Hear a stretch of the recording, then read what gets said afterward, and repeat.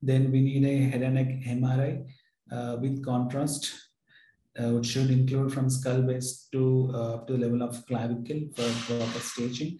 And we do need a uh, systemic staging for that. We can take uh, FDG scan, which is preferred, or we can uh, go with chest CT, which with including upper abdomen. Like uh, we need to screen the liver also for the, for this case.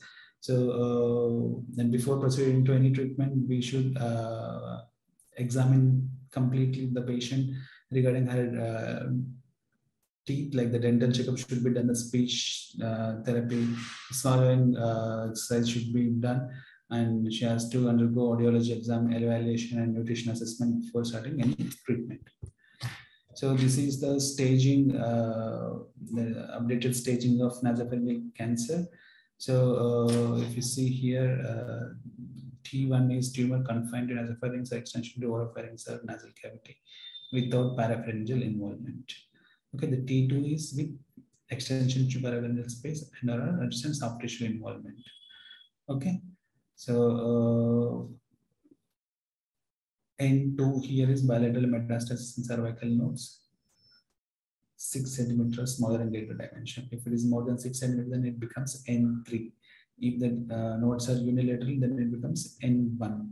Okay, if there is any involvement of bone structures, it will become directly T3. If there is any intracranial extension or extension to any nearby organs, then it will become T4.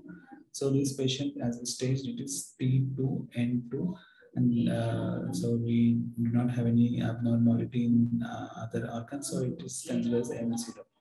So uh, some basics here uh, we need to note here. So uh, in recent days, EBV testing is not mandatory, but uh, most of the centers are following testing EBV for all cases nasopharynx, mostly in undifferentiated and non-keratinizing types and MRI is mandatory for the staging and PET CT is preferred over CT scan for the staging of nasopharyngeal cancers, which also allows us for the uh, radiotherapy planning.